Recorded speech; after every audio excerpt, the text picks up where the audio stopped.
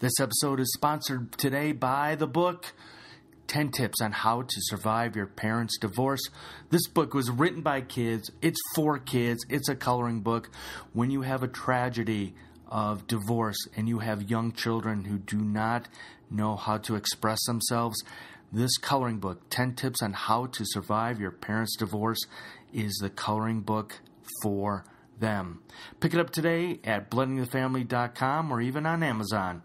10 tips on how to survive your parents' divorce. Again, written by kids for kids. Welcome to Blending the Family, the podcast. Topics can range from dads hitting rock bottom, daughters watching their parents divorce, or even what is a good wine for couples to have while talking about finances. Here's your host, whose Facebook likes are actually a negative number, Tommy Maloney. Check, check, check, check, check, break, check, check, one, two, check. Whoa, oh my gosh, almost dropped the laptop.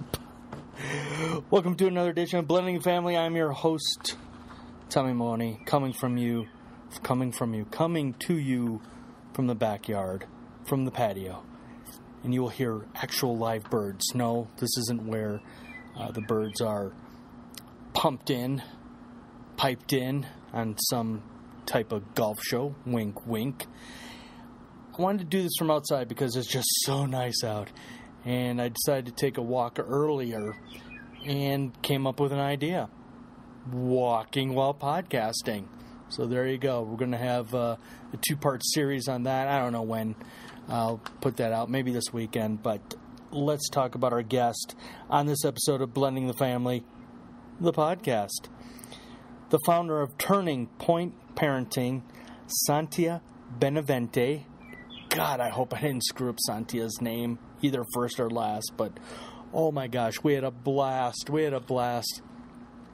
I actually heard her on a, another podcast of one of my mentors, uh, Stephen James uh, Petersen, on his podcast. And so I was kidding with her because her and Stephen had just a wonderful exchange, but they were using words way over my head. And so I told Santia, I go, yeah, I do maybe dollar words, not $30 words that her and Stephen were uh, using. Um, but let's let me put that on pause right now. So, like I said, I'm, I'm doing this from outside. I'm sure the neighbors are probably going. We have new neighbors too, so they're probably going, "Uh oh, one of them weirdos, huh? One of them weirdos." One of them hippie podcasting people. Yes, say that 10 times fast. But woke up this morning and all of a sudden my back started stiffen up and I laid back down to just reset it. And uh, we were planning on doing uh, pulled pork sandwiches tonight. And I just realized I forgot to get buns. Crud. Hmm. I'll have to figure out something. But anyway, I decided I'm going to go for a walk, try and walk out this back pain, which was really helpful. And I haven't been proactive as far as exercise and health goes. Uh, I reached out a while back to one of my other mentors, uh, Marcus Aurelius Anderson, and one of the first questions he asked me was, How is your health? And I said, It's crappy. So I figured today it's supposed to be uh, close to 90, I believe, here in northern Colorado. And I'm like, well, I got to go to the grocery store. I have to get some barbecue sauce for the pulled pork. I've never done I've I've never done pulled pork. Uh, Anne has my wife has set it up, but this is the first time I've thrown in the barbecue sauce and a few other ingredients, including including this is an exclusive. I did use. Uh, we had one left, a bottle of beer that was infused with chili. I'm like, I, I really can't do spices, but I was like, what the heck? Let's try it, and see what happens. So I threw that bottle in. Well, the I, I picked up Sweet Baby Ray's Hawaiian uh, barbecue sauce. So I've got all these different flavors. I'm really excited about this. So I'll, I'll let you know how it goes. Uh, so yeah, so I, I, took the the phone with me, took my headset with me, and as I was walking, I, I looked like a, a, moron, like I do probably right now if somebody was watching me. from the from their backyard, going, "What is he doing?" So yeah, I just walked and talked and did a part one once I got to the grocery store, and then part two after I left the grocery store because I really didn't want to walk around the grocery store looking more strange than I normally do. That's exciting. The other thing, too, is I want to either remind you or just let you know if this is the first time you're listening to this podcast, thank you. Thank you for tuning in. I know I have some new listeners, even some friends. Uh, a good friend of mine, uh, uh, Scott M. Scott M., who I've coached with in the world of hockey, and I talk about that on the um, the Walking Well podcast, and I mentioned Scott, and um, so if you're a new listener, thank you so much. Thank you for subscribing. Thank you for leaving ratings and reviews. Super excited, but a couple announcements. Number one, yes, I have piece of paper in my hand. That's what that sound is, other than the birds. But the newsletter is back. I spent my past weekend huddled, and this is probably why my back is so jacked up because I've been sitting so much. And you know what the new saying is? Smoking is the new sitting, or sitting is the new smoking. Oh, God. Something like that. And like I said, I just uh, hunkered down in the office last weekend working on the website, making some changes to that, uh, learning how to use WordPress better, learning. Oh my gosh, Duke, you've been eating grass again. Ugh. I really wish he'd stop eating grass and start eating his food. Hold on. Yeah, this is going to be disgusting. Come here. Come here. You got grass out of, hanging out of your mouth. There you go. Want to say hi to listeners? All right. The newsletter is back, so please, please go to blendingthefamily.com. Hold on, I'm sorry, I don't want the I don't want the laptop to fall. So please go to blendingthefamily.com and sign up for the newsletter, and I will be happy to send it to you. No, you're not going in yet. I'm recording. You need to go lay down, okay? Also, new coaching opportunities. If you need coaching, I am here for you. I, I set up two, uh, just two packages. I didn't want to get overwhelming of people, so I developed two easy little packages. One is like a, a, a one time, one day type thing. The other one, I put together a 12 week uh, process for you. So we have the newsletter, new coaching uh, packages. Uh, what else is going on? Still working on the uh, the weekly column with the Good Men Project. I think we're getting ready to. This will be week six by the time this podcast launches. Six. I can't keep track. If you're not familiar with the the column that's going on right now, uh, it's called God Pushed Me, and I talk about the leap of faith of um, quitting one job, getting ready to take on another job, and that job ended up falling falling apart. Didn't happen, and so I'm I'm putting my faith in God right now that um, things are going to change, things are going to happen um, for for for the family in a good way, um, not just financially. And I will say yes, I really would like the financial piece to really fall into place but I, I feel there's other things that uh, God has intentions for me as long as I, again, put my faith in Him, put, you know, put my hands in Him, if that makes sense. So, so there you go, Good Men Project. Just type in, go to Good Men Project, just type in my name, Tommy Maloney. You'll find several uh, of my articles, including uh, rebroadcasts of this podcast as well. So there we have it. Uh, newsletter, coaching, Good Men Project. Duke's hanging out right here. Poor guy. Uh, just I just came back from inside from doing some yard work out front, and I'm trying to think. Was there anything else? I think that's about it. Yeah. So that's it. Let's talk about Santia. Oh my gosh, she had a um, she was just a phenomenal guest. Phenomenal. I, I, see, I see her coming back, and I see her starting on her own podcast as well. I really do, and I should I should recommend that too. I'll send her a Facebook IM. All right, I'm trying to look at all the notes. One of the first things we talk about on this podcast is uh, her her first name, and I'll give you a hint. That's not her given name, and I'm super excited that she was um, so willing to open up and tell us uh, about how her first name actually came about. Last name, that's still uh, her real last name. I believe that's her married name. Um, but yeah. Uh, we talk about how uh, she came about working with the Jai Institute. So that's the Jai Institute for Parenting. Um, and again, I'm looking at my notes.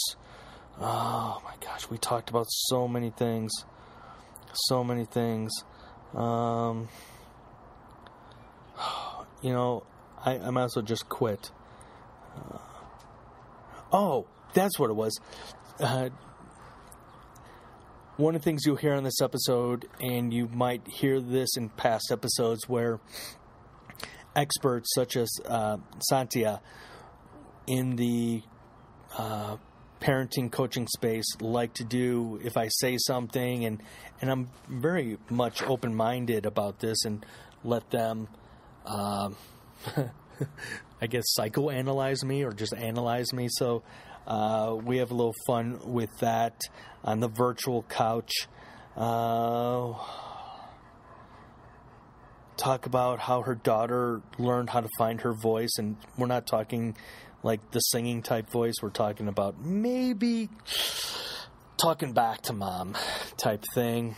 And I do pose the the famous question that you hear on this podcast a lot, and that is if the kids don't get along, do you continue dating? And she had a very interesting perspective and a little different perspective in her situation. So we go into that. All right. That's about it. That's uh, that's all I want to bore you with right now. I just want you to get into uh, listening to this episode with Santia, and again, Santia's uh, Beneventi. Her um, website is turningpointparenting.com, turningpointparenting.com. Uh, thank you to Stephen James Petersen for having her on your podcast. And um, yeah, again, those two used what I call $30 words. And again, I'm only a $1 word person. Enjoy this episode of the podcast and thank you for continuing sharing the podcast, downloading, uh, telling your friends, your family, your tribe about this podcast. I'm super excited because each and every month I'm just blessed and honored that more and more people are, are listening to this um, this little freak show I call Blending the Family, the podcast. So, all right, that's about it. Duke's laying down right now. I need to edit this podcast and then get it out to you. You, as I like to say, you have to remember, in the mortal words of Terry Crews, your success is my success.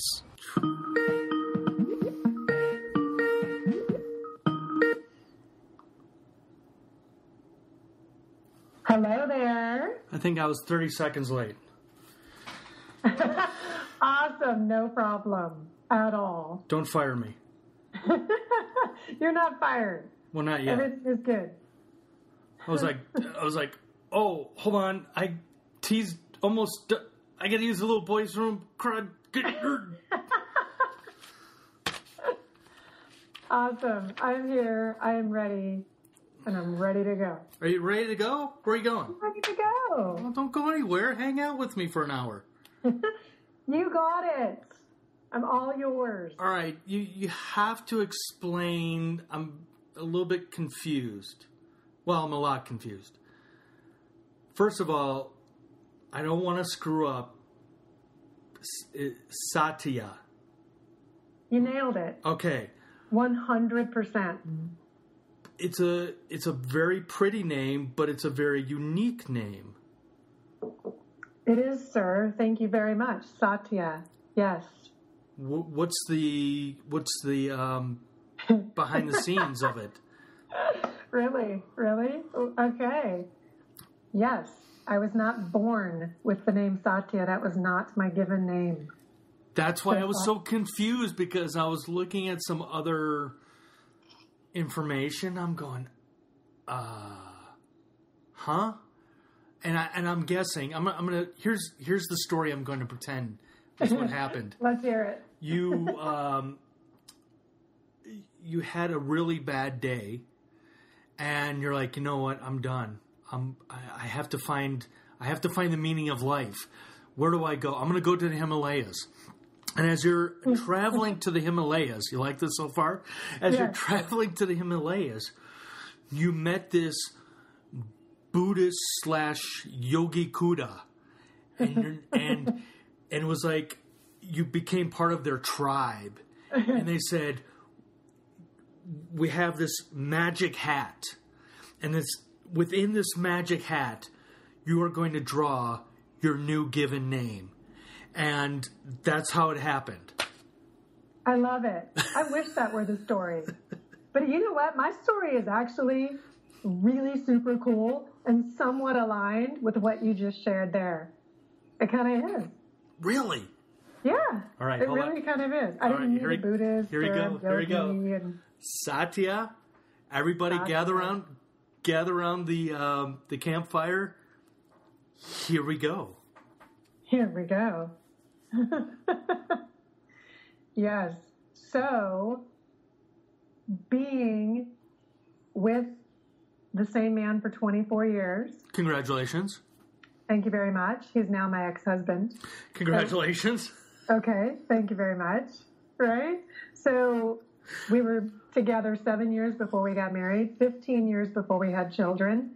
So funny because I just texted him a couple of days ago. He's back in Texas, which is where we met. He's running around with his brother and he went to go see my parents and say hello. And I said, man, did we ever share a lot of life together.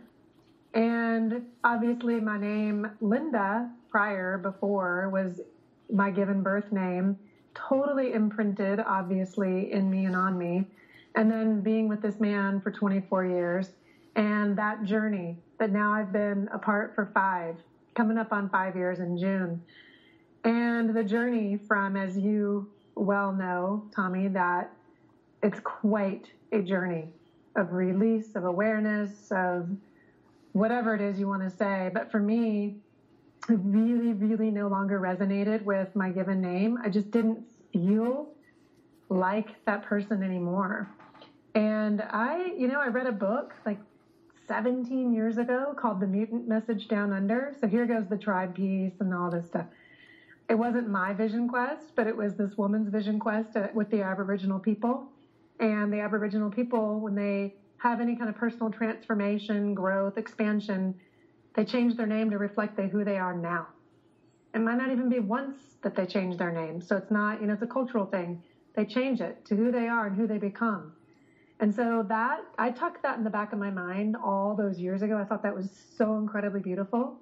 And then going through the process of divorce and that incredible journey of contrast and ebb and flow and all of it the evolution, the expansion, the grief, the mourning. Um, I thought, you know what? I'm not Linda anymore, but I don't know who I am in, in sense of a name, and I want that to come to me. So it really did. It came to me so beautifully, and it is from it's Sanskrit, and it's one of the five yamas in yoga. It's satya, so it's behind nonviolence, and it means truthfulness, in particular with your words. So, yeah, I allowed that to unfold, and it was such a beautiful journey, and it fits. It fits. Feels really, really good. Thank you, thank you so much for sharing that. I, I'm I'm quite honored that you did uh, let let the listeners and myself understand. Um, and you know the the thing is, I I really wish I don't know I don't know if I could do that. I don't know if I could change my first name because it it does identify who I am because it's it's the flip side with me though is mm-hmm. I don't like to be called Tom. I don't like to be called Thomas. Oh, And I had a speech teacher in college who refused refused to call me Tommy. She goes, "That's very immature." I go, "Well, that's who I am." and that's how I like to be identified as Tommy because to me it it feels more inviting, relaxing, but that's an amazing journey for you is to really realize, all right, I'm no longer married to this man. It's time for me to find a new path and you're you're almost like changing your your uh, whole identity. Like uh, you you join the mob or, or, or, getting away from the mob, and totally. now you have to you know you, you, have go. to go get the uh, the minivan and all that stuff. So I I commend you on that. That's that's just that's a great story. Thank you. I appreciate you asking because it is a little confusing for people. They do see you know, the Linda and the Satya, and is this person the same person? I've had the funniest, funniest story with this. So I had a, um, a business colleague reach out, a new colleague in a group that I'm in, and he reached out to me and he said, "Do you have a twin sister?" and I was like, uh, "No." And I just thought he was going to say that there's somebody out there that looks so much like you. And he was like, Well, I was on this website, Turning Point Parenting, and her name is Linda, and she sounds like you, and she looks like you. And I was like, oh my gosh, this is the best story by far. And we just cracked up laughing. I'm like, nope, that's me. That is totally me. That was a pretty good story. And you know, too, as well, Tommy, that I wrote my parents a letter. And obviously, they were the first people I told before I made any kind of legal changes or anything. And I wrote them a letter explaining my whole journey with it. And they, you know, to me, were the most important uh, I mean, my children, of course, they were actually the most important, and my parents letting them know. Don't worry, don't worry. I'll edit. First. I'll edit that out for you. No, leave it. It's totally fine. I will speak again. I'm speaking my truth. Um, but my parents were totally fine with it, and my mother just like grasped onto it so quickly. It was really oh, so beautiful. She's embraced it and she understands. It was powerful. Yeah, but thank you so much for asking. Well, like I said, I was very confused, and I did hear. I mean, I I, I don't want to say I'm like a music agent, but I discovered you or stumbled upon you because you were on one of my mentors' podcast, Stephen uh, Stephen James, uh, Peter Stephen James Petersen. If I can say that once, and I just found the, the problem I had uh, with listening to you and Steven was that you guys were using like those $30 words. And I'm just like, well, if I interview her, I hope she realizes I'm just a simple guy. I'm a simple guy named Tommy. That's how I roll. You're funny. $30 words. What's an example? I Give I, me an example. I, I can't remember. I remember okay. because because you and Steven were on a very cerebral um, consciousness of, of talking, and I'm just going because I know Steven, and he he mm. he's a very well educated person, and I'm just going, oh God, I, I I don't know if I can compete with her on on this podcast, but you know what? That's okay. Mm, see, that's the beauty. So I have to share that the, the beauty in that, the beauty in that vulnerability, and the beauty in the authenticity and the beauty of you, right? Like, this is me. This is me. And that's what we're trying to do here, right? I mean, really, this is just want to be me. I want to be me. I want to find myself and be me. And I love it. Profound. See? Already right there. Ooh. I always remember Zig Ziglar would always say, I'm going to give you a profound statement. How do you know it's a pro- profound statement? I'm telling you, it's a profound statement. So you just, right. you just did that. totally. I love it. Absolutely. Absolutely. Who's to say? oh, I love that. Fantastic.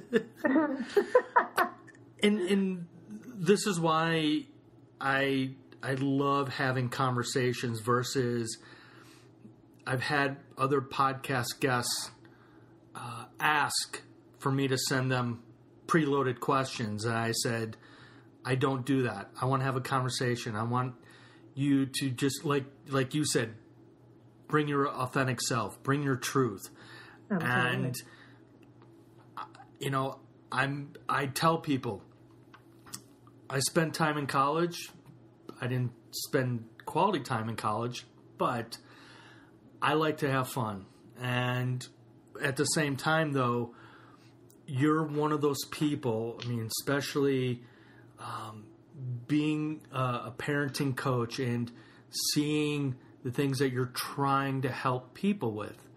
And right before we jumped on, you had uh, I am me about how how excited you were. You just got off a, a, a coaching call, and I was like, I just did that too, and I was like feeling so pumped up because, as you well know, if you're working with somebody and they're grasping and they're have that open mind or even if they don't have an open mind they're but they're willing to listen to what you're saying I just sit back and go, this is wonderful. And I was explaining to this client that that's why I love the podcast because I love, because um, he was asking about social media.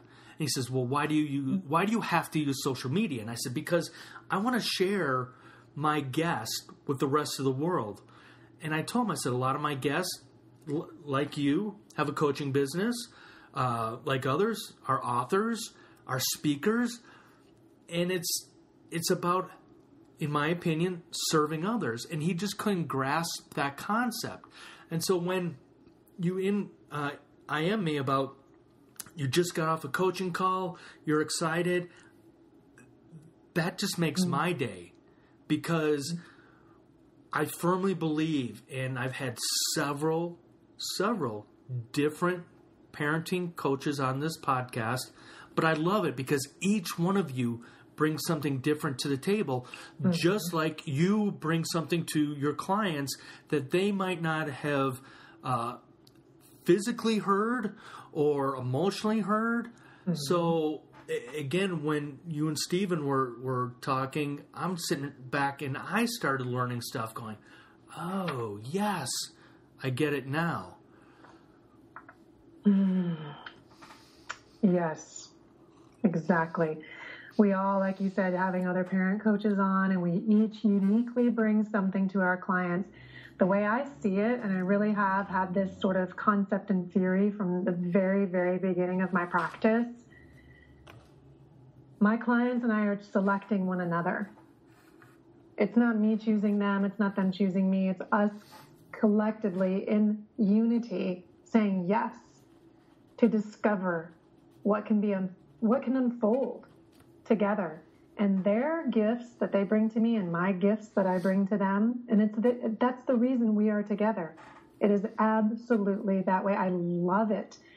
And so you said, you know, you firmly believe that you all all the different parent coaches they bring something to their clients, and I believe that. I so believe that you can work with. I, I've worked with many coaches actually because I like to walk my talk too. So I always have a coach so if somebody's, if I'm hoping and, and desiring someone to sign on a parent coach, someone like me, I really want to walk my talk as well. And I have a coach, like a business coach or a life coach.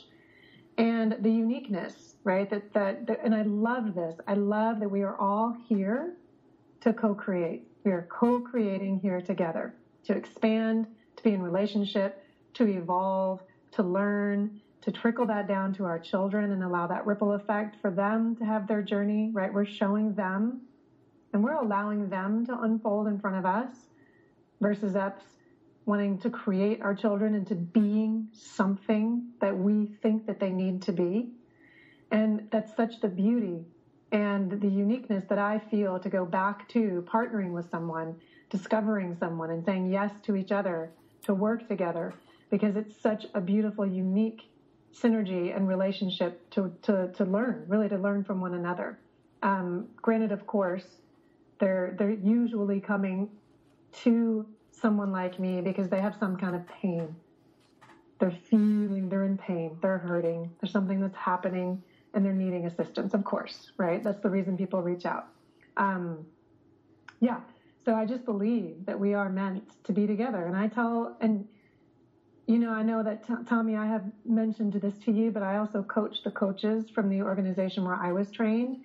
And that's exactly what I say to them too. I'm like, we are we are meant to be together. We all have our own uniqueness that we bring, our own little thumbprint, you know? And and you pull in that person for a reason, for a total reason. It's really beautiful relationship. Well, it's one of those things that really resonates as I'm listening to you speak is that I was working on uh, my weekly column, and one of the things I, I had written in there was being a man of faith. And that is something I was probably the first time I ever put those words down because I, even though I went to Catholic school, I was never a person of faith. Mm-hmm. And I started hearing more and more of people talking about having faith and the world of a coincidence. And I started to really think about there are no coincidences. Mm-hmm. And listening to you talk about coaching the coaches and you know being together and meant to be together it goes back to my my theory is there are no coincidences mm-hmm. you were you were put in that position you were put in that uh, so-called room and those others that are in that space with you there's a reason why you're all there mm-hmm. and one something just uh, popped in my head is as I was going through uh, your website, Turning Point Parenting, mm-hmm. and you're talking about you know working together. Has there been situations, and and I hope this isn't a, too much of a dumb question, but has there been situations where you are working with both uh, both parents, but the parents aren't on the same page in their own little world? Mm-hmm. And mm-hmm. how how how do you work with them to get them not only on the same page, but on the same page with you? Mm-hmm. Mm-hmm.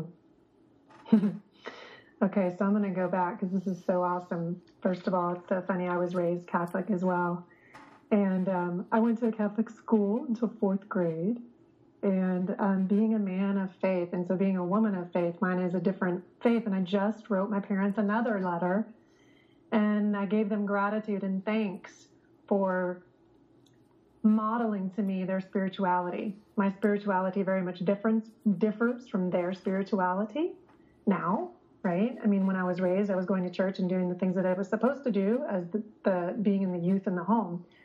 But ventured off at 18 and started to do my own thing and um, I, I just gracious, I sent them a letter right before I went to Mexico in March, and I sent them this letter before I left, and just was, I was like, you know, I just want to really just give you so much thanks and gratitude for for modeling your faith.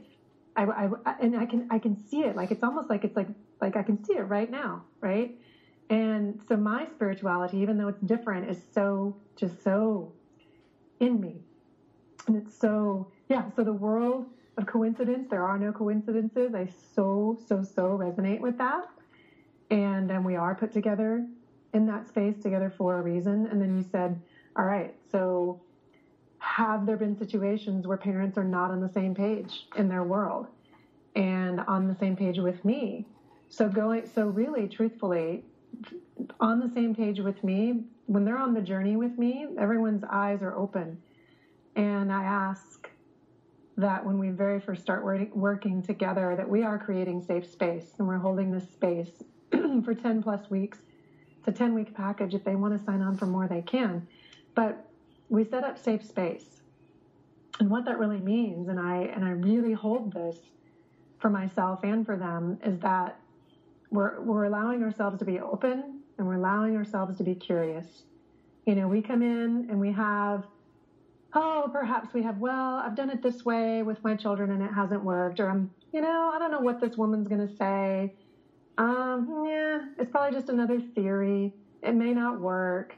I may need to just toss it out, right? So I, I from the very, very, very beginning because here we are, are in this moment right now. Like Tommy, you and I are here right now, right now, right now, right now.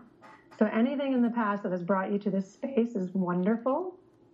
But the power and the presence of now and being in the now moment, you may have unpacked a bunch of stuff from your childhood and how you were parented. It's wonderful. It's how you perceive the world. It's the lens with which you see through. It's how your brain is developed. But you're still, we are here in this now moment. So I ask them to kind of shed and release and surrender and let go of everything in order to be here in the now moment and be open and curious. So being on the same page with me, or uh, it's it's almost it's not even a doesn't even come up because we're we are on a transformational journey together. Me being their guide and their advocate, and their deep, deep, deep listener. And the listening component, oh my gosh, I could. The listening component is so intense.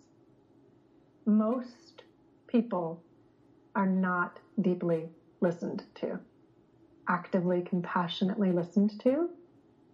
We gloss over, we paraphrase, um, in, in one ear, out the other, taking our own perception of it, twisting it perhaps. And in this setting, these people are sometimes heard, like so deeply heard for the first time, maybe about their childhood story or about their parenting. So being on the same page, I guess to answer that is such a long winded answer with me. It's almost that that doesn't even come up because we've set the stage and the framework where we're here together and we've set up the safe space and we've set up what it means to compassionately listen to one another. But do you and feel so, do you feel that and I apologize for interrupting.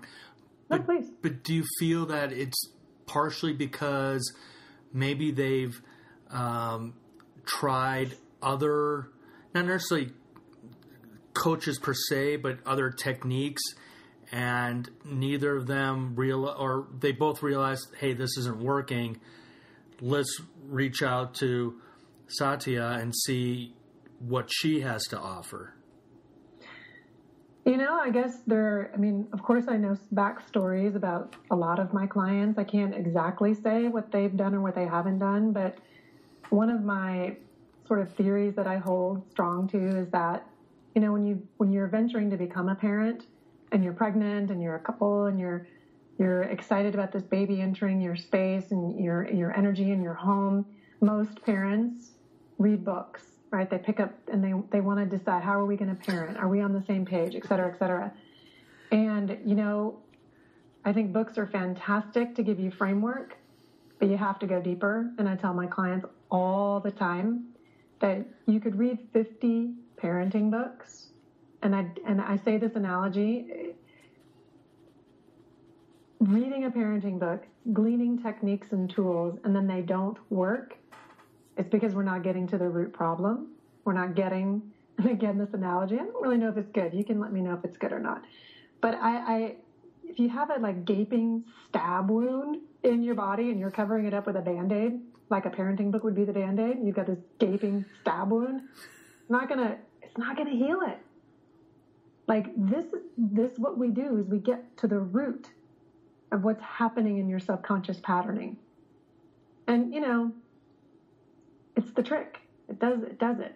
And then all of those tools, all of those books, you can choose which methodology, which techniques, which concepts you decide to use that stick with you, that fit your unique family dynamic. But not until you address that that gaping stab wound will you really be able to do so. You're just going to toss it out as another concept. So perhaps people have come and said, "Oh, I've tried this or that, and it hasn't worked." Yes, for sure, right? Um, Absolutely. And but, that could be that could be part of it. By the way, thanks thanks for the visual of in in college I was a sports medicine major, but I can't dissect without throwing up. So that gaping wound analogy, I don't think I'll be having dinner tonight. Thank you. You're funny. and you bring and you bring up one of my favorite points is and I think you and I are very kindred spirits on this. Is that I love, I love to read as well, and I wish I was a, as the kids would say, a more better reader. But the one thing I, I totally agree with you is that people will read books and they'll just continue reading books and they'll, you know, decipher some kind of knowledge, but they never use that knowledge. They never share that knowledge or they never take what they've learned and actually created something or done something about it. It's, I, I just need to absorb it and that's it. Mm-hmm. Yeah, yeah. And again, to me, it's putting the the cart before the horse in a, in a sense. I mean, not that these tools, you know, you get you get some ideas. I'm going to give you an example. Here's an example. Okay. All right, put the rubber to the road here. So for me, for me, me, me, my experience as a parent, I went in, I read a bunch of books when I was pregnant. I decided, okay, the baby book from Dr. Sears, Attachment Parenting, this is what I want to do. I've got this nailed. I'm going to do this. I'm going to start early. And my daughter turned three and a half, and then I had a one and a half year old, my daughter and my son, who are now 14 and 12. And my daughter turned three and a half, and she started to use her voice, found her voice. I got super triggered, and I didn't know what to do. I was like, this. So I would yell, or I would put her in a timeout. Oh my gosh, which just makes me cringe thinking about it right now for me, for me those tactics were not working. And I did not feel good. Didn't feel good at all.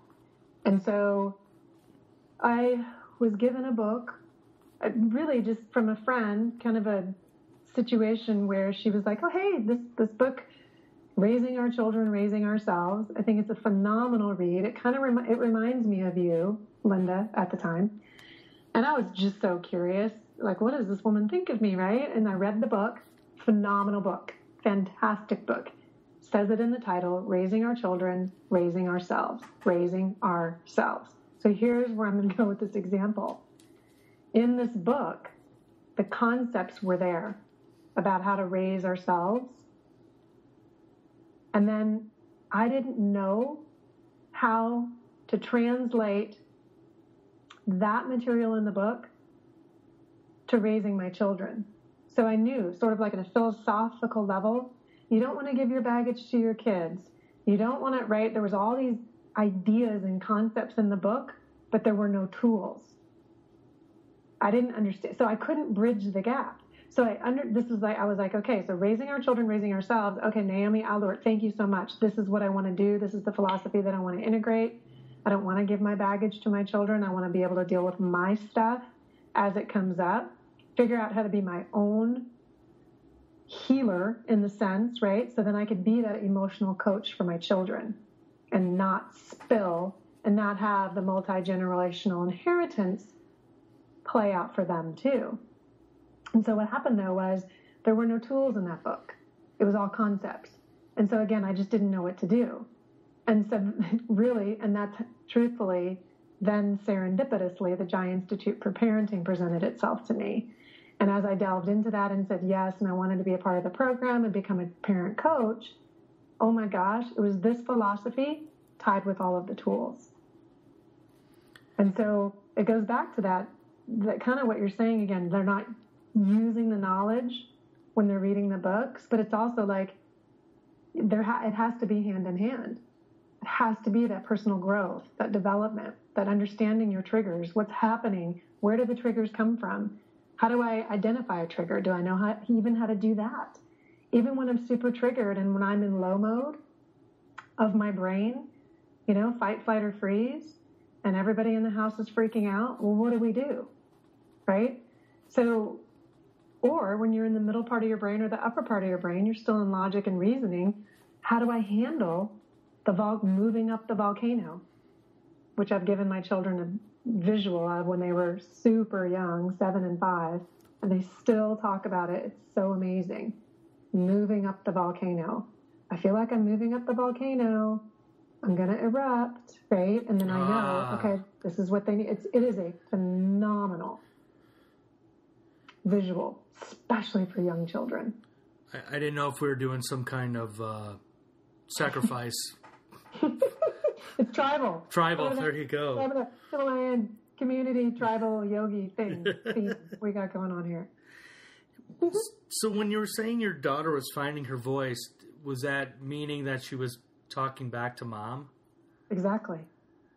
And then how did how did you handle or or was that a necessity, I guess? Did your son go through that at a period of time or was he just I mean cuz he's a boy, so he's probably a little angel. Yeah. Oh, you're. Oh, nice, nice. I'm glad you're you're holding it for the masculine. I love that. So, of course, my son went through it. Absolutely, and we want our children. We do want our children to roll through these developmental phases that where their brains are developing and three and a half, six and a half, six, six year change, nine year, 13, 15. These are all very, very crucial times for children to develop, and we want them to roll into those cycles. So, yes, my son Morse definitely did it. And actually, his was more intense because he was more physical. So, he used his limbs to communicate quite often. Um, so I'm guessing karate type moves. Mm, yeah, hitting, hitting, kicking, for sure. For sure right in the three and a half. My mother in law, she's passed, but my mother in law was a total freak zone. She couldn't handle it. And here I was, right? She was freaking out. So I'm trying to tend to her. And then I'm knowing that my son needs to go through this. But because he was taking it out on me, because I'm, he's securely attached to me. And then my mother-in-law, you know, she, she's very, again, like I said, she's passed, but she's very vocal about her story and her journey in life, she was abused physically. And so it was such an incredible trigger for mm. her to watch that. So navigating her emotions and navigating what was happening for my son, that was fascinating too. Very. So, so what advice can you give to other uh, moms and dads who went, who might eventually go through it or have maybe friends and family that might be going through it. How how did you handle that uh, physical and emotional display from your angel son? Mm-hmm. exactly. So the one thing i always like to say is that this too shall pass because it is a developmental phase that they are going through. And you know i have to say that i was I'm going to go back, Tommy, and answer this, but I was picking peaches at a peach orchard and there was a whole bunch of us. There was like 12 of us there. And we picked peaches and we're all having a good old time. It was like a Sunday afternoon. My daughter was around three ish. My son, again, was one ish. And we're all standing in a circle, kind of just talking and saying goodbye and everything. And my daughter, for some reason, I don't know what was going on. Maybe I wasn't giving her enough attention. She started to communicate with her limbs. Just like my son did more often. And she, it was pretty rare for her, but she started to do that. And I was like, oh my gosh. And I was utterly, totally socially embarrassed, right? So, which was wonderful. I'm raising my hand right now, literally wonderful, because that was an opportunity for me to look into that later, right? But so I was, I was in the situation. There's all of us standing there, and she is coming up to me and she's hitting me and she's freaking out. And I'm this mom standing there with this other little baby on my back in an ergo and my little one hitting me. And I'm like, I'm so embarrassed. And this amazing woman, wise woman came over to me and she said the exact same thing that I'm saying now. She said, that's how they communicate. They don't have the language. They don't have the words to put to their big feelings. And so I just was like, oh, almost like a light switch. I just was at ease, and all I wanted to do was support my child. And so now, obviously, this was before my training. And so now, obviously, I have the training and the background and the knowledge to understand, oh my gosh, yes, what I was going through is exactly what our children are intended, they're, they, they're supposed to go through this, right? So our parents, as parents, we, we do, we, we freak out. Oh my gosh, they're hitting me. They're going to be like this forever. This too shall pass. And then what we do in those moments is really, really, really important. So it goes back to whether or not we're clearing our subconscious patterning or not. But your child, if they're hitting you and they're not communicating, they're in low mode. They're in fight, flight, or freeze. They can't hear words that you are going to say to them, anyways, in that moment. So we integrate what's called a sensory tool. You find what sensory tool works for your child and you integrate it. So a sensory tool meaning touch. Do you need to hold them really, really tightly? Sometimes that, that actually doesn't work for children. Sometimes it does. Do you need so sensory like smell? Do you need to have an essential oil nearby, which actually worked for my son for quite some time? Um, do you need to maybe start singing? Auditory. And now listen to this one. This is so interesting. This one worked for myself and it worked for my daughter too. Clapping or snapping in your ears. And it seems, yeah, mm. it seems so counterintuitive.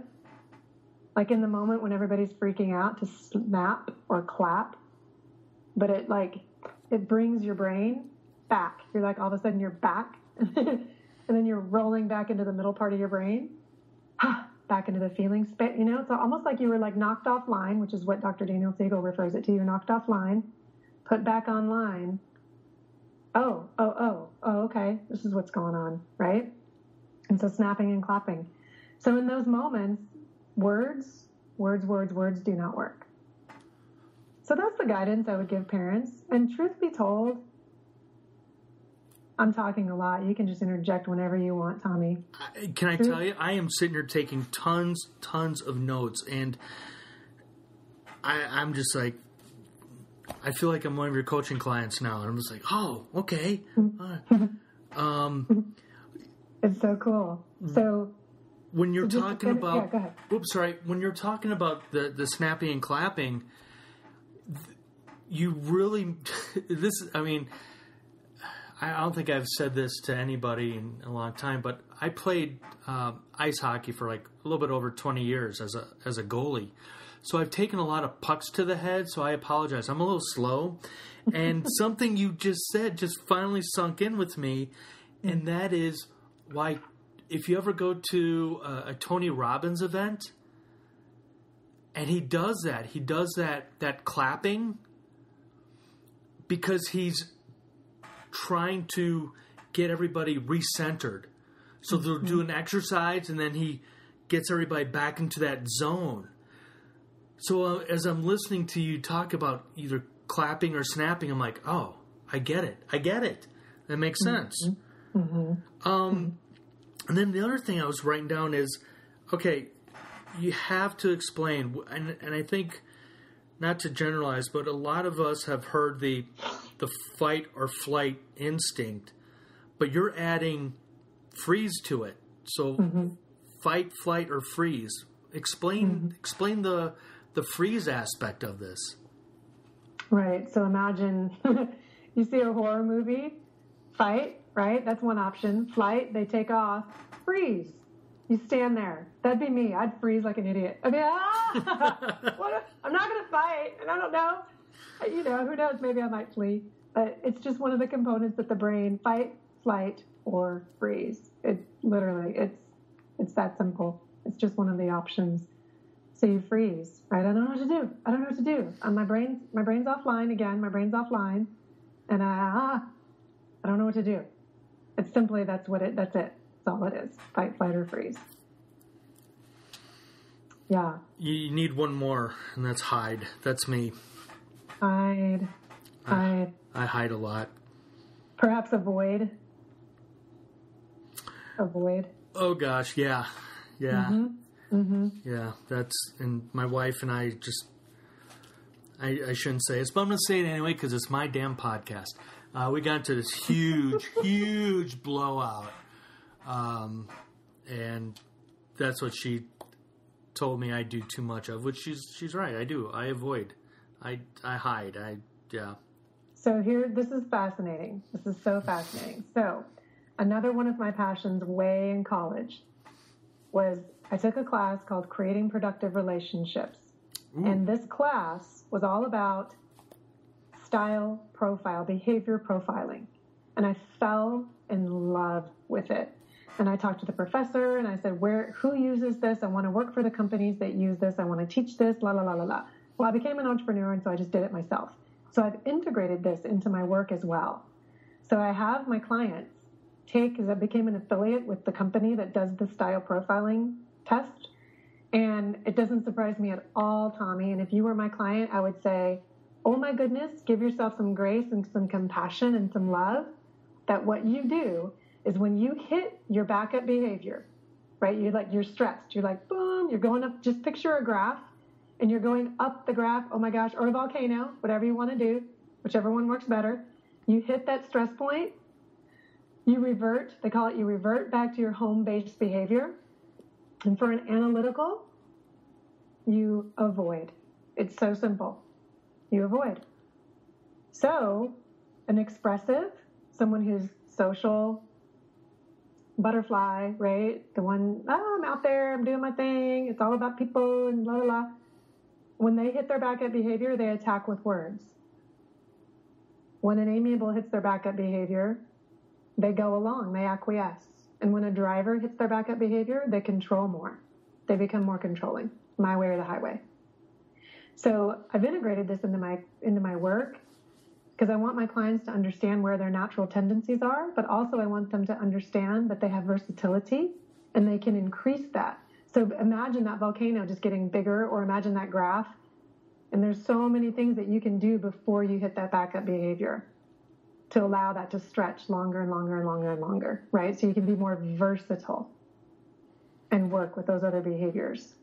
So, so give yourself some love and some grace because avoidance makes total sense.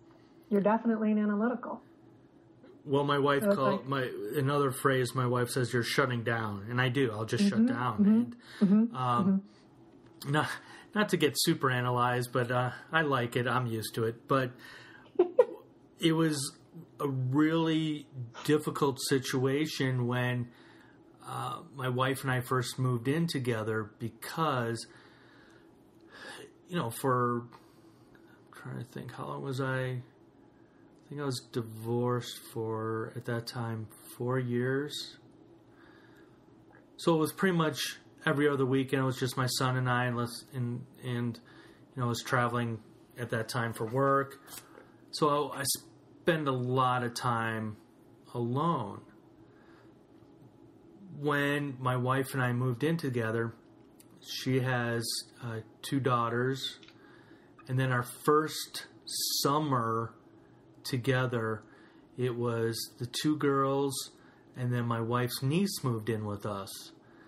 And at that time, we had um, we're down to one dog, but we had two dogs, and even one of the other dogs was a female. Mm. I had a little too much estrogen in this mm-hmm. house, and not not mm-hmm. and not to say that was the cause, but it, part of it was. Are you snapping your finger at me? Yes. But the other thing is because I'm very much an introvert and I am an you know an only child when all these ladies would be in the same room together or the oth- the flip side is when my two bonus daughters would get into you know their sisters and they get into mm-hmm. their arguments again, I would shut down. I didn't know what to do. I don't know how to handle that kind of conflict. I'm, I'm Exactly. even though I'm a so-called parent, I'm like, uh, I, I, I gotta go. I gotta go hide. Yeah. And that's what I would do. I mean, there there were several times where, at the time, uh, right now the home office is upstairs, but back then the home office was downstairs, and I would grab a, a wine glass and go, "I'll be in the office." I'm out of here. Peace out, dog. Out. I'm out. Yes. Yeah. It makes total sense. Great. Being analyzed again. That's okay. I'll, I'll just Total s- sense. send me a bill. so I want to ask one of my favorite uh, questions on this podcast, and I think this is going to be a unique um, perspective coming from you. Um, are uh, and I, I'm just gonna have to come out and say. It. So here, let me do. Let me reverse it. Let me ask Okay. the question and get your perspective. Okay. So the the question I'm I always ask on this this podcast to the guest is when my wife and I were dating, we took um, a covenant. Sorry, I, was watching one of my favorite movies, Yes Man, uh, recently, and that's that was the, that was the word they used, and I just love that movie. It's one of my favorite favorite. It's gonna sound odd, but it's gonna it's one of my favorite motivational movies. It's just a great movie. Um, Good movie. Jim Good. is just I, I just love him to death. But my wife and I said that and we first dated and then we decided all right we're going to um, get our kids together. Like i said she has two daughters i have a son.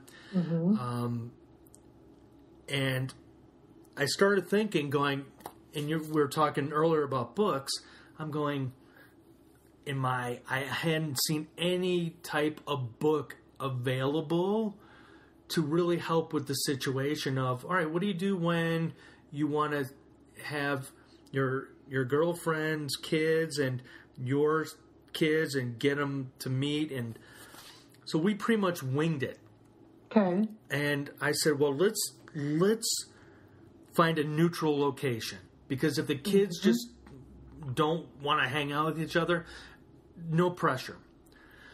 So my wife were dating. Then we decided, all right, let's get the kids together and then see if this is going to work. And what we said was, if the kids don't get along, we weren't going to continue the relationship.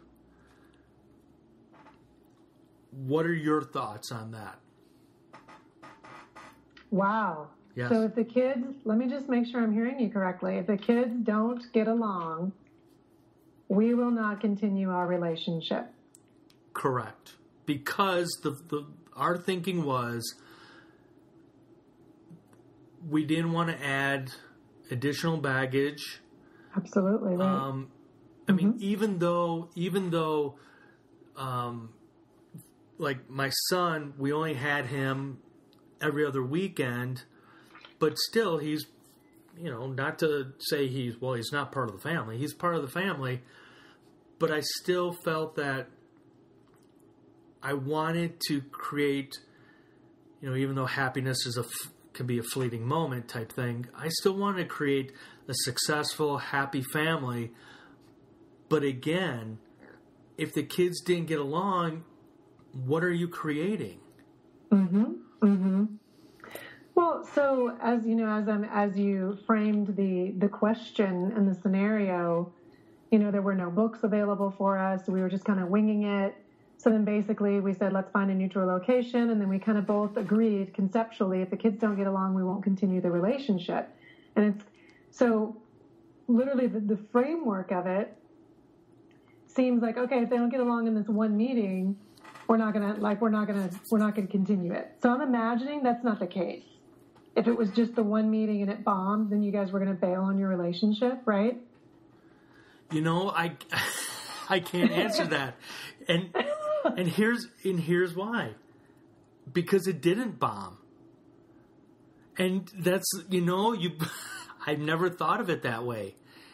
Because as as I've told numerous times the story was so uh, Satya, the, the neutral location was an outdoor ice skating rink. And my son and I uh, got there early, and he and I were standing in the middle of this little ice rink.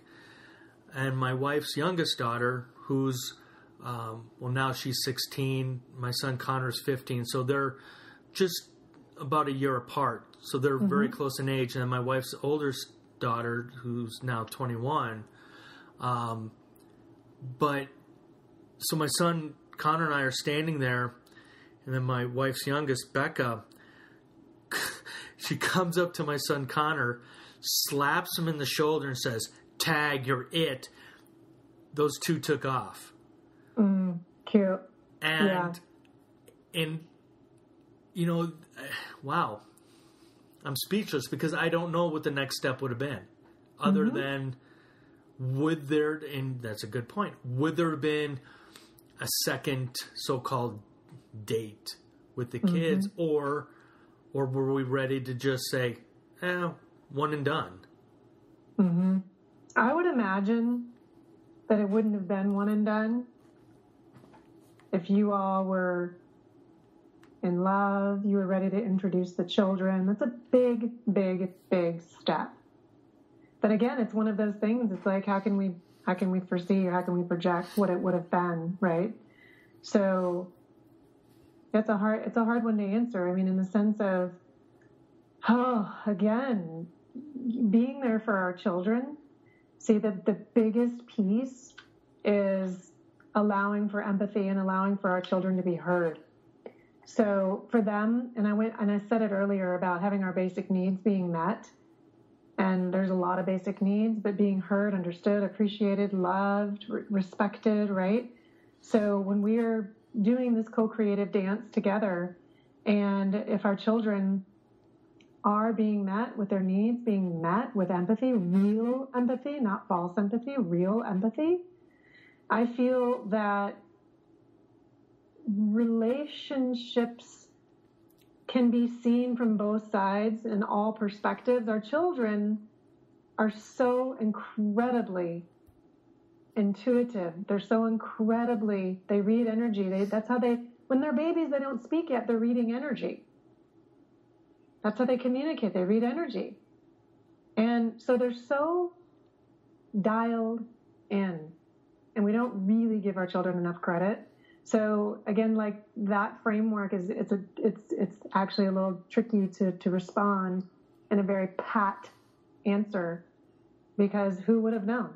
I mean, who would have known that Becca would have hit Connor on the shoulder and said, "Hey, Tag, you're it," right? Yeah. And who would you have bailed? Who knows? Yeah. Right.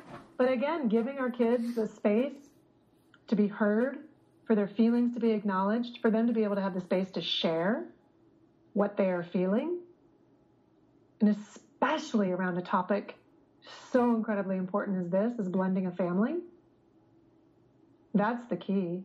That's the key. Real empathy and deep, deep listening. So have you had this conversation with yourself as far as When and if. yeah. Yeah. Well, there's, I, you know, again, I've been almost coming up on five years. I've been apart and single for the whole time. And there is someone in my life right now on the, on just right now, just very cursory. And I have not introduced my children to anyone over the years that I've just, you know, dated here and there. And this particular gentleman, um, my children, we, my kids and I were going to go do a 5K and he decided he wanted to come see us and and um, be at the starting line, right? And so I let my children know that he would be there, and this would be an opportunity to potentially meet him. Like if we see him, because the run was pretty big and crowded, and um, we didn't see him at the starting line, but we saw him at the end, and it was fascinating. And he knows the story, but it was fascinating. My daughter, I go, oh, there he is. Let's go say hi. And we were walking over there. My daughter continued to walk, continued to walk, right? And then my son was there with me and we introduced and they had a little conversation and we and we walked off. And I ended up having a really powerful conversation with my daughter about what was going on with her. I was like, wow, you know, I noticed this and how are you feeling? But we so so Tommy, we have the baseline, my my children and I have this baseline of the trust and the mutual respect and they know that I listen to them. I validate them word for word. They know that they know that they're heard. And so as she was sharing with me what was she was feeling in the moment, she felt safe to do so. So again, there's yet another caveat, right? If there's the set of circumstances that are like this for someone else and they don't have that basis of mutual respect and trust and that parent is triggered by that child walking away, thinking that it might be disrespectful and rude, that's a whole different, whole different situation. But for me, I thought, okay, I'm going to go in and find out what was going on for her. And she shared. So I'm gonna play the what if game with you, and let's say your daughter says, "You know, mommy, I, I, I don't want you to date that person anymore." Yeah. Okay. So I can play. I'll play the. I'll play. Okay. But my daughter, my daughter would never say that. she wouldn't again because we have this this other relationship. So she knows she anyway. But if a child were to say that, then I would guide a parent. I would I would validate her. I would say, I hear you. You do not want me to date him. And then I would pause and say nothing else.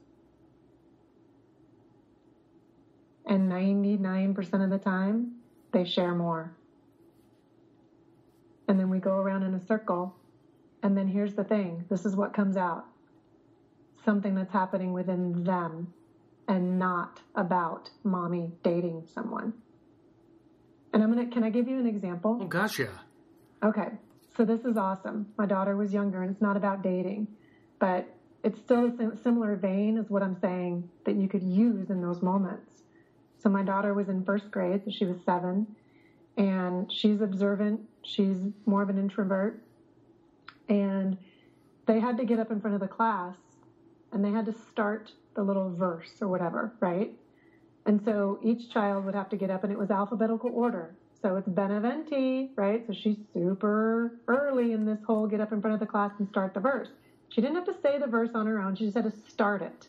Get up in front of the class and start it. And then she could sit back down. So she comes home from school that particular day and she says, Well, mom, and she we were sharing a bedroom at the time they were so young and she was upstairs and we were about to go to bed and she said mom so i don't want to go to school on thursday and this was like a tuesday or something i don't want to go to school on thursday and i was like okay. And i was in bed so i got out of the bed and i went on the floor and i sat next to her. And she goes i go you don't want to go to school on thursday. No i don't want to go to school on thursday. Okay. And she said because i have to get up and i have to start the verse. I said, okay, you have to get up and start the verse. I literally repeated her words back to her word for word. And she said, and I'd go, oh, okay, you don't want to get up and do the verse. Yeah, I don't want to get up and do the verse. I'm, I'm shy. I don't want to get up in front of the class. I just repeated her, repeated her, repeated her. At the very, very end, we came full circle. Again, because children have their own solutions. We don't have to force feed them with anything. We don't have to say, oh, but honey, you're smart and you've Oh, but honey, right? She ended up coming to the fact all full circle and she said, Well, Lily is shy like me. Lily is shy like me, and Lily did it, so I could probably do it. So, I mean, it was her fear. She didn't need anything from me. She just needed me to be there to hold space for her. And she was heard through the whole thing. So to go back to the dating analogy, if my daughter were to say that, and I would say, "Oh, I hear you," right, and I would just allow her to speak, I would hear probably some fears or limiting storylines or some beliefs or something that she would need to get out, and then we'd move through that, and she'd unpack it, and she would feel heard, and and again, more than likely, it's not about me dating someone, it's about her fear, which is what my daughter said. She actually said she was scared scared of? Scared, perhaps, of mommy going away or losing mom. Ah. Right. Oh yeah. So it's it's it's really it's it's all about our feelings being heard and validated. And I just, I mean, I can't tell you day after day. I'm on I'm on client calls every day. I'm working with grown adults who are parents who, when they go back to their childhood, A, they weren't accepted for who they were. They were shamed. Oh, I couldn't feel my feelings. I would actually, I would have to be told to go to my room because I couldn't feel my feelings. That's all we want to do is be authentic and feel our feelings and share our feelings. Well, it goes back to we want to be heard. Mm-hmm. Yeah. I, I, was, I was just. And how are we heard?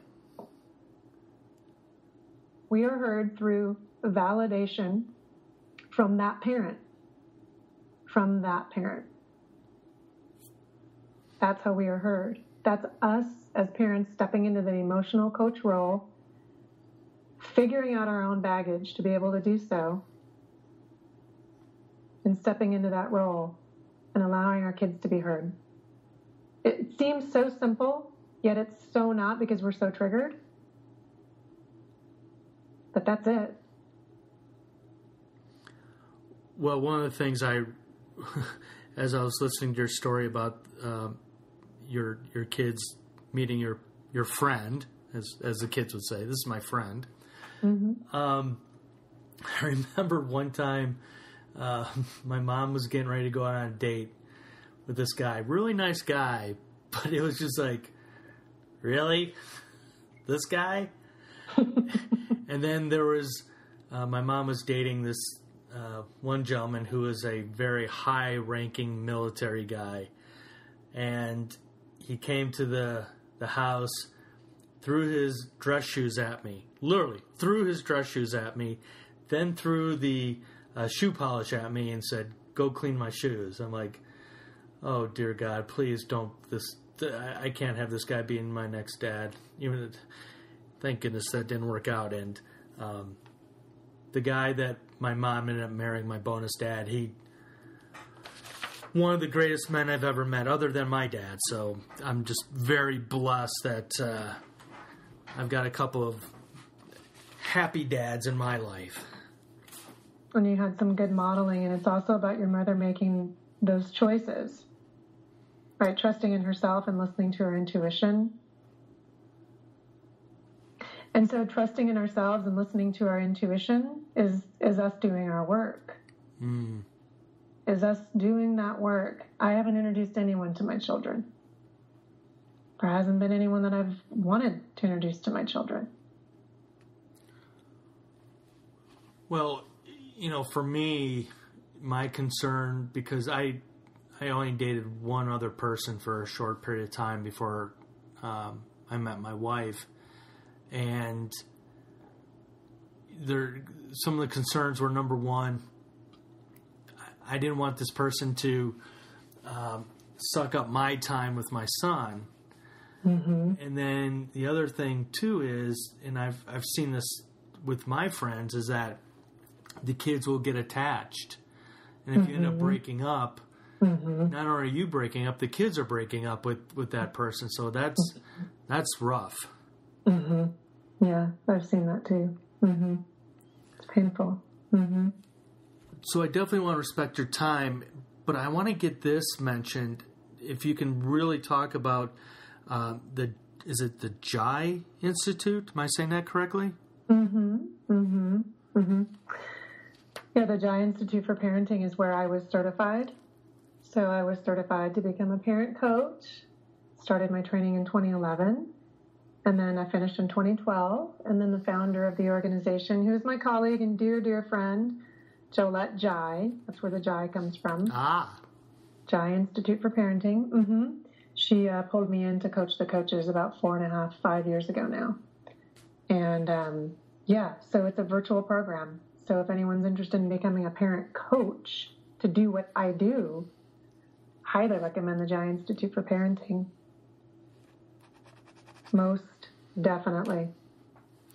what was special about going through that training? Well, it kind of goes back to what I was mentioning before about the raising our children, raising ourselves, and that the philosophy of, you know, not passing along your baggage to your children and being their emotional coach, but not having the tools to do so. That book just didn't give me the tools. This program, we look at you first, so we unpack, we unpack it all, and then you get so many tools, and you learn. Then, so the the program's a 24 week program. The first 10 weeks, you go through it as a client, just like your clients would go through the material. Mhm. The second 10 weeks, you learn how to coach it. And then the last four weeks, you learn uh, business, marketing, sales, tactics. So it's a 24 week approach to becoming a parent coach. And um, very, very, very effective. And I had been an entrepreneur before. And so once I was finished with my training and off and running, I was ready. I was so ready. And that's where I, you know, created Turning Point Parenting and became the founder of my business.